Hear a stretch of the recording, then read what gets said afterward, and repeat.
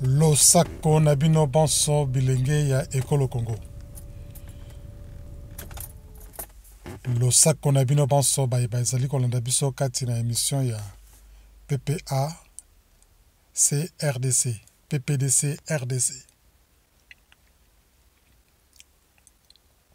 tozongi lisusu pene na bino mpo na kosakola bino maye ya sika oyo tozali kokanisela bino Mais kati na maye ya sika wana tozali kokanisa esengi d'abord tosala tozonga na le passé comme ça mpona tokoka koyeba nini oyo esalamaki mpe esalamaki te na bamikolo oyo oyo bozalaki koyoka biso lisusu mingi te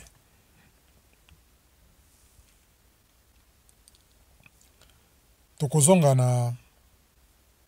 na baactualité oyo ezali kotala mingimingi kati na diaspora, mingimingi mpe kati na bamouvement de résistance mpe na bacombattant congolais. lolenge nini biso tozali komona bamakambo wana tokolobela yango na deux volets voire même trois ndenge tolobaka toujours ke kozala mobundeli ya mboka congo ezali kosenga ke okoka kozala na na vision oyo akolakisa bato lolenge oyo ya kozalela lolenge oyo bato bakozalela il faut ezala modèle oyo ekofere reflete na baye oyo oyo balingi vraiment komona bosolo kati na mboka na biso na bizaleli wana Bozaleli wana pe ezali kosenga que mutu nionso oyo azali kobengama ke azali na kati na resistance pe na kati na mouvement ya combattant akoka kokoma pe akoka kozala lokola neti mutu oyo population na biso ekoki vraiment ko s'identifier na ye na bizaleli na ye elobeli na ye et puis na ndenge na ye ya ko ya ko kosolola na bato ntango tozali kosolola na bato mpe kopesa bamessage message wana il faut ke ekende kotouche motema ya mutu na mutu oyo azali ko s'identifier na bizaleli na biso na elobeli na biso oyo ekoki kozala na bofinga te na bosoto te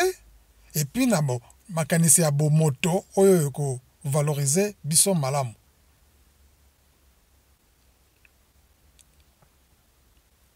tolobaka na bino ke un combattant congolais esengi na ye alongwa na bamakanisi ba ya mikie mikie me esengi na ye ke akota epuis akoma politika mpo soki azali na kati na politike mpe azali politicien ye nde akoya kopesa bamessage oyo ekosala eveil oyo ekolamusa vraiment na bosolo na biso mboka na biso congo mpe ekoka kotombola ye na molai mpe na mosika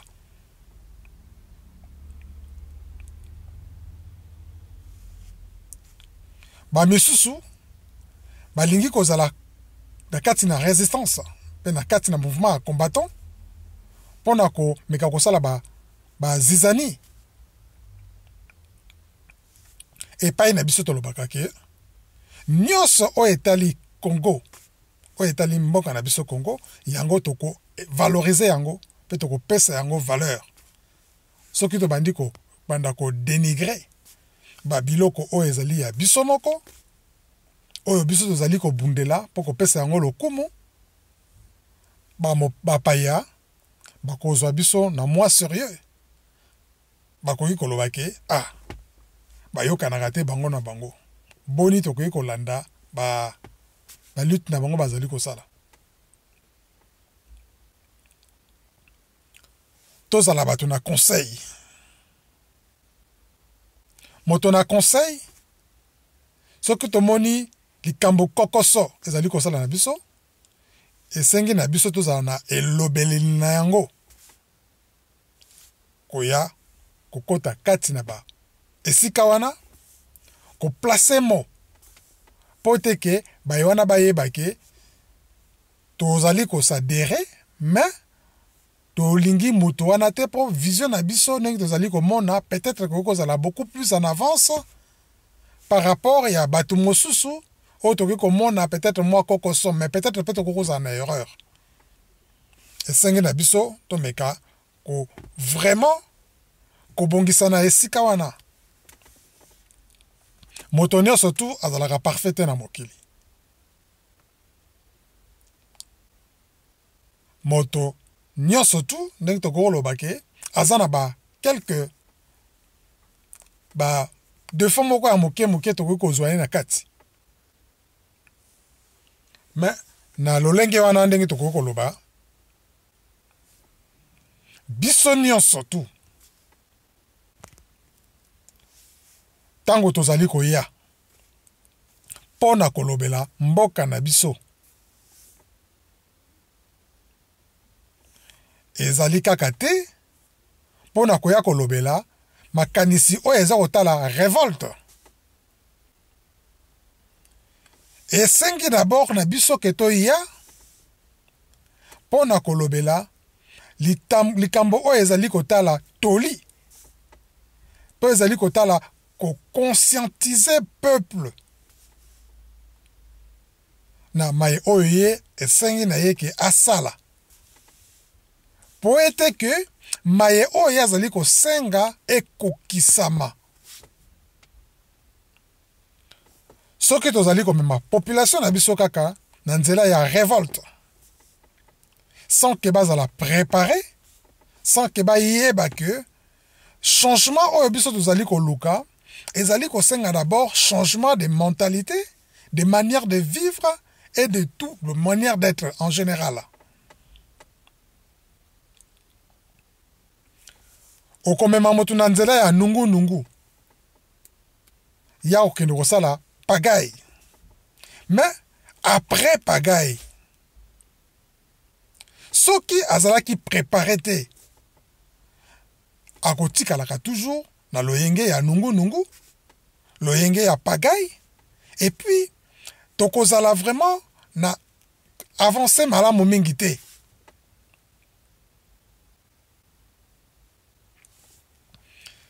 me ezali kosenga avant tout ke bongwama kati na biso ekoka kosalama ke bato oyo bakolanda biso mpe vision na biso tozali kometi tozali kolakisa esengi na bango ke bakoka vraiment koadere bamakanisi nyonso tu oyo tozali kotya mpo na ke motu oyo tozali kobenga congolais alongwa na etat oyo tozali koconsidere ye lelo mpe ameta lisusu koevolue mpo te akoma na esika oyo biso tozali kolinga ke mpo mokili ekoka korespecte biso mpe etosa biso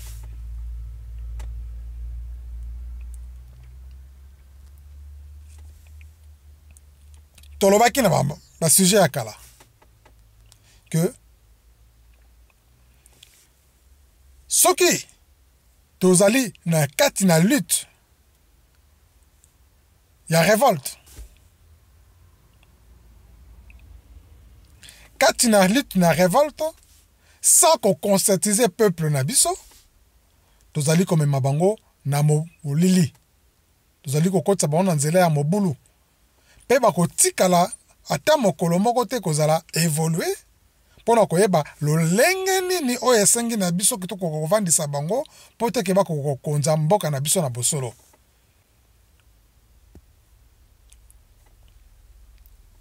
na nzela wana ezali kosenga oyo tozali kosenga na bino babilenge nyonso tu oyo bazali vraiment kolinga ke mpe epuis bosolo ekɔta kati na mboka na biso bomeka koepusana pembeni na biso mpo ete ke tokoka kolakisa bino lolenge oyo biso tozali komonela mutu ou l'homme congolais ou la femme congolaise na ndenge oyo biso tolingi komonelela ye vraiment na bosolo ke azala ezali kosenga un bolingo ezala kati na biso boyokani epuis tomeka kolingana vraiment na bosolo soki namoni ndeko na nga congolais esika ye azali esengi vraiment na bosolo nyonso tu kena kopusana pembeni na ye koyekola ye komeka kosalisa ye ye mpe akoka kosalisa nga tosalisanaka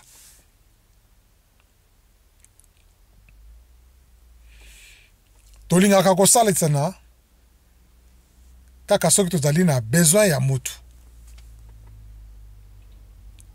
me tolonganaka eta wana vraiment toya kokɔta na, na changement oyo ya bosolo oyo biso tozali koluka oyo oyo eza kobima biso na eta nature ya kiboange na biso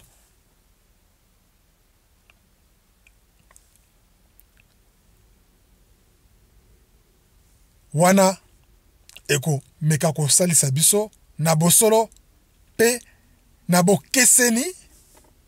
na baye basusu oyo bazali toujours kati na mouvement ya revolte sans koprepare peuple ya koyekola ndenge nini ya kobatela, ndenge nini ya kobongisa, epe ndenge nini ya kovalorize mboka na biso.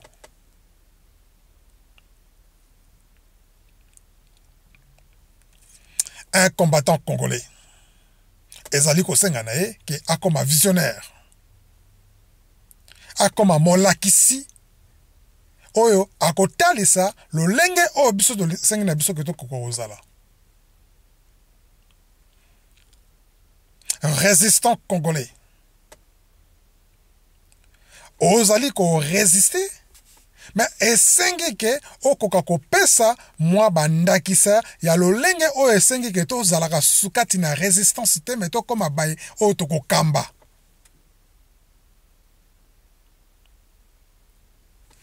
torésiste bambula nini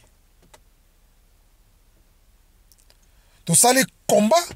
epuis toganye eloko nini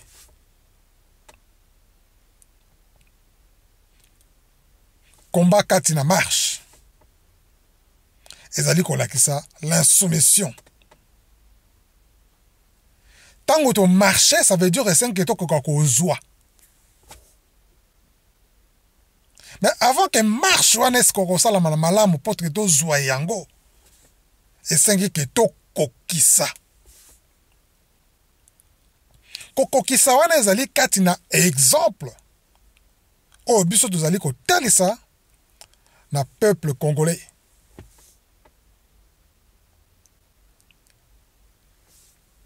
Condition na biso ya vie evandeli mpe etamboli elobeli na biso ezali deja marke oyo ekotalisa ke bato oyo batambolaka boye soki bango balobi na biso ke tolanda bango biso nyonso esengi na biso ke tokoka kotambola boye ba eloko oyo ezali ko empêcher baye basusu bapusanaka pembeni na biso ezali desordre oyo ezali kati na biso kimotema mabe oyo ezali kati na biso boyokani te oyo ezali kati na biso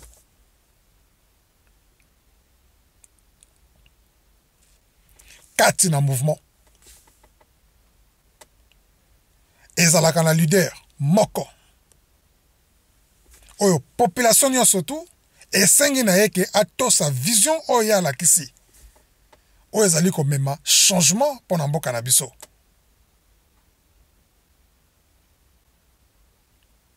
Ntango tozali koyekola yango te, ntango tozali kolanda baprincipe ba, ba wana nyonso te, tokotikala kaka komona baaventurier oyo oyo bazali kobima kati na politike mpo na kolinga kosala kibozoba changement oyo tomemi esengi na bosolo nyonso tu ke mutu nyonso tu mwana nyonso tu mama papa mpe koko ya congo ye asidentifie en tant que ange epuis achange etamboleli na ye etamboli mpe na evandeli esengi kaka te ke ebandanaka na likolo me esengi ke ebandaka epai na biso na se epuis emataka emataka emataka evolution oyo ebandi na peuple yango wana ezalaka durable parce que ozala bosolo oyo population alingi komona soki euti kaka na likolo ezalaki prepare na se te ezali lokola ndako oyo babandi kotonga yango na toiture basali fondation na yango na se te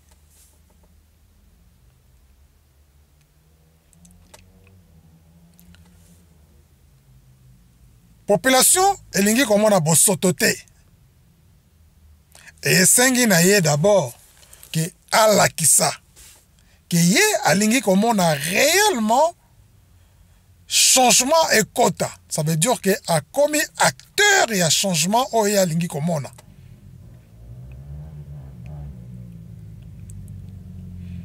et puis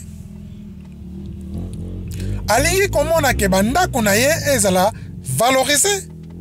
esengi dabord ke kati na evandeleleli na ye bamapango mpe bandako ekoka kozala harmoniser epuis elongwa na kati ya banungunungu oyo tokoki kozala ça veut dire motu na motu amipesi vraiment kokoka kosala ke akoka kovalorize soit kotia peinture soit kolakisa ke esika wana ezali esika ya propre Na lolenge wana ke tokomona ke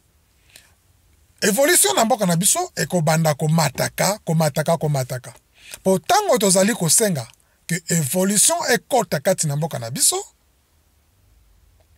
me soki topreparaki peuple na biso malamu te soki ye akomesana kovanda na lolenge oyo ye avandaki kovandela biso tozali kosanga na evolution ezali mabe donc na bino bajeune biso babilenge kati na bamouvement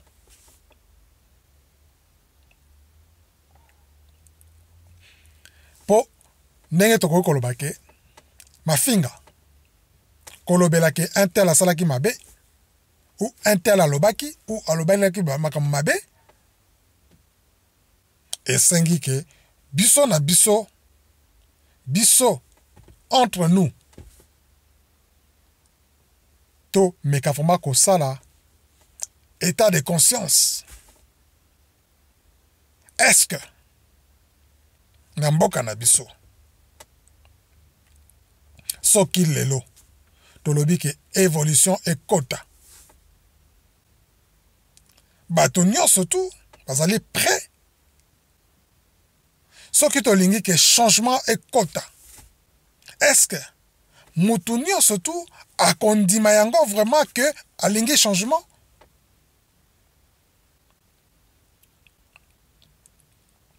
le changement ezali kaka affaire ya etat te mais ya ba individu ya bato ntango na kati na quartier mibeko ekoti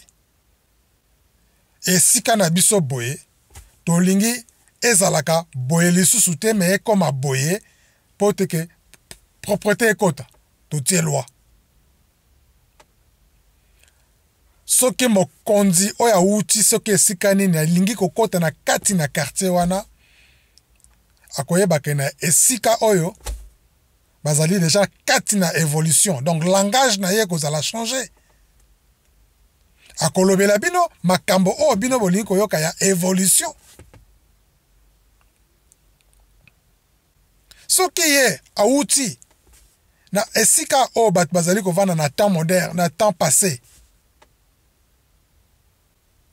mpo te amema bino kati na evolution ekozwa ye mwa langage ya komeka peut-être komeka ko kosala bino mwa mpasi te komeka koloba me koloba malamu te evolution yango ezali komema etat ya, ya, ya bo mutu akoka ko komipesa mwa valeur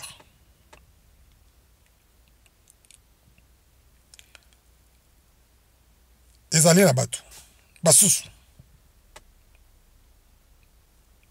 alingi ke mwana na ye akoka kotanga mpo akoka kozala neti evolue mwana ake kelasi atangi akomi evolue me na lopango na quartier esika ye avandi evolution wana oyo ye aza nango ya mental ezali te akosala nini bino baye oyo bokendeki kotanga bino baye oyo bokendeki koyekola baprincipe wana esengi ke ekota deja kati na mapango na bino mpo si bozwi deja evolution na mitu bokokotisa yango na kati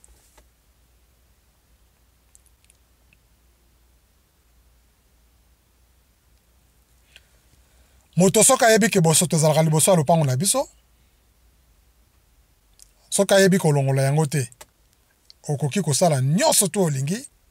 me bosoto wana ekotikala toujours devant lopango na biso parce que motu wana azali azwi information me alingi kofaire appliquer yango te mpo akolinga ke moto mosusu aya kosalelela ye ya koko kobima neti motindami esangi dabord ke yo banda obandi olakisi nzela esika boye nalingi komona boye soki bozali misato mine na chaque parcelle na chaque lopango na quartier bozali mwa ebele bobandi kosala ke esika boye tolingi boye ça veut dire ke évolution ekoti au départ bakosala bino guerre bakolinga bino te bakosala bino etumba bakona kofinga bino okoswana ekokota mais ntango bokokotisa yango bofoke boaplike bajeune bajeune oyo bakoya bakokota bakona kolanda mpe evolution ekokota biso tolingi kozala toujours kati na ba action oyo tozali komontre droit na gouvernement nalobi te ke gouvernement ezali kosala malamu mais tozali komontre droit na gouvernement mais biso moko tokomi bacomplice ya gouvernement wana mpo elinga kosala malamu malamu vraiment te nde lokola biso tolingi parce que eya kotala e eh, soki mbongo ekei kuna bakolia bakosala nini te esengi d'abord que evolution wana oyo biso tozali koluka tozala promoteur na yango na ba 1 dollar un, ba 1 ba 1 franc congolais 2 franc 3 franc 10 franc congolais moto na moto azali kotia bosangisi na biso ya kobongisa esika na biso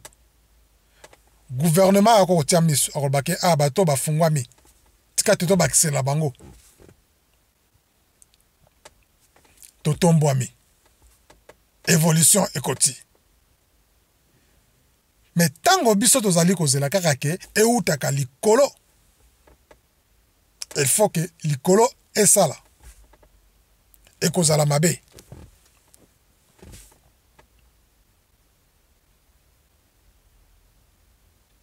mwana Congo.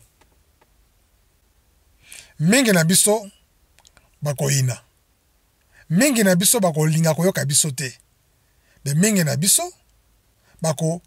pusana mwa pembeni na biso mpona komeka koyoka eloko oyo biso tozali koloba.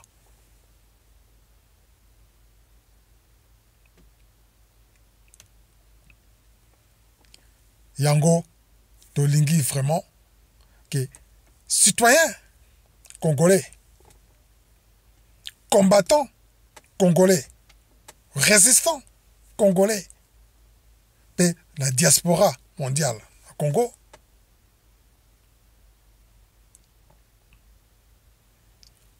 bayoka mwa mbela oyo tokoki kosala mpo na komipesa valeur na biso moko.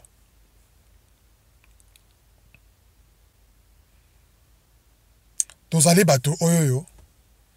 esengi ke ntango tozali kosala mouvement motu azala liboso tolobaki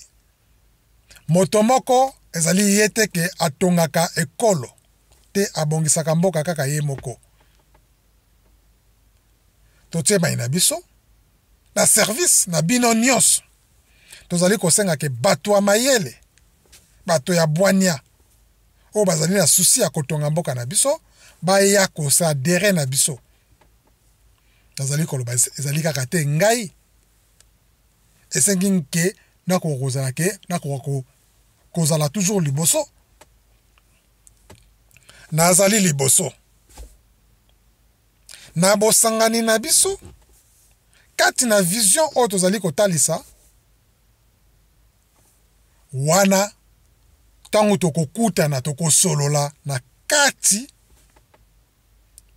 tokopona bato oyo oyo tolingi ke bakoka kofaire représenter vision oyo tozali na yango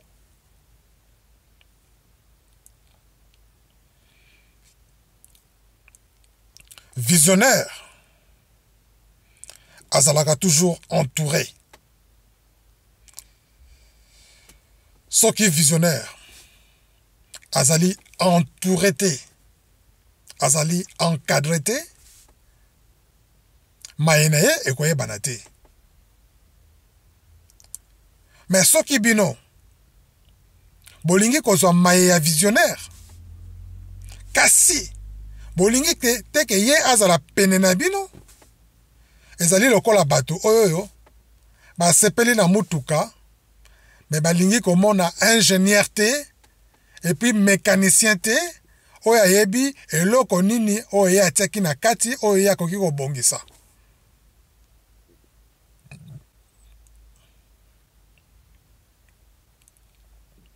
nazali ingénieur kati na idéologie oyo totie kati na nation congo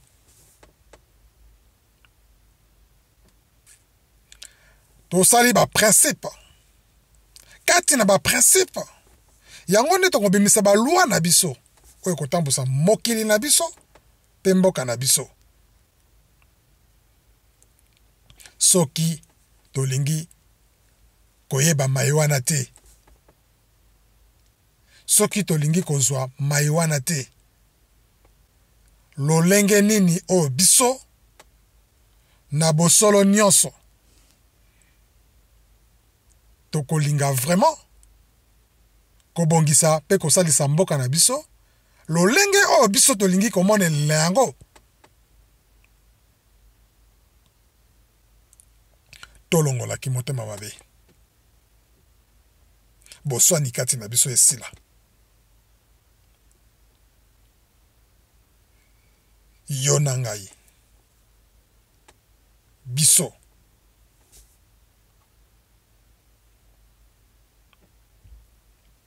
totombola lokumu ya mboka na biso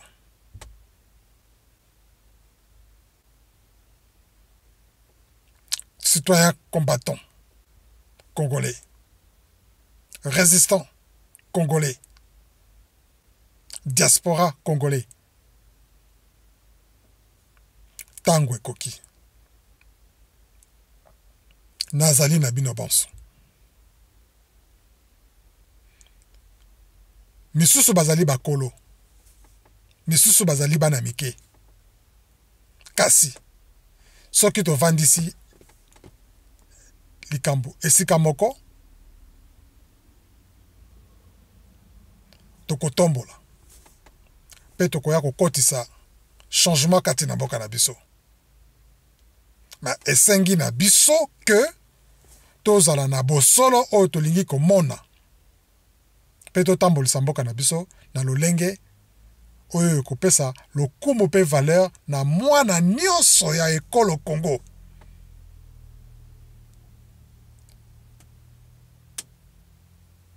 Ingeta